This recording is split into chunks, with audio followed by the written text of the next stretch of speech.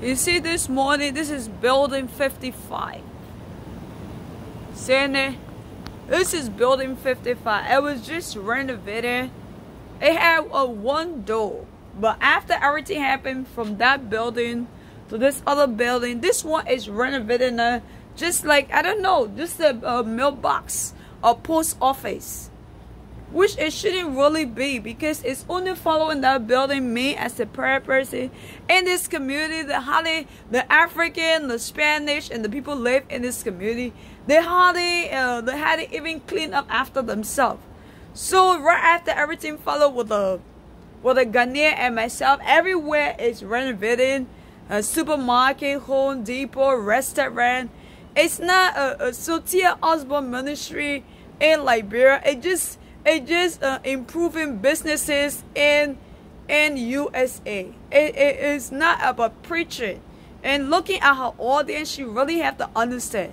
The girls in this building, the Liberian Muslim girls, I wrote article about them because I saw the personality of celebrity through them.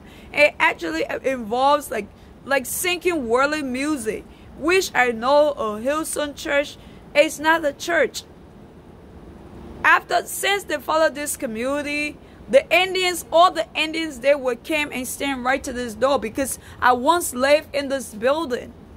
Before i moved in that building so the renovation that was done in this place it really i don't know what that means because the Liberians in this building they're only following my image in my bloodline because uh, all the ministry and false prophet has been saved through me so this is a up call. I'm really a, a, a, a, Tia Osborne ministry with great audience have preached to maybe like 100 billion people around the world.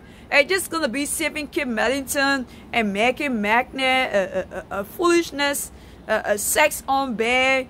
Uh, uh, I don't know, following me everywhere. I will take full stamp and, and blah blah blah. I really want her because her her her, her ministry is not about this community. She really have to come home because dogs don't live in here. They're only following me because most of the Liberians live in this building. And it's just about maybe like $10 is rent, $30 is rent. But everybody in this building cook.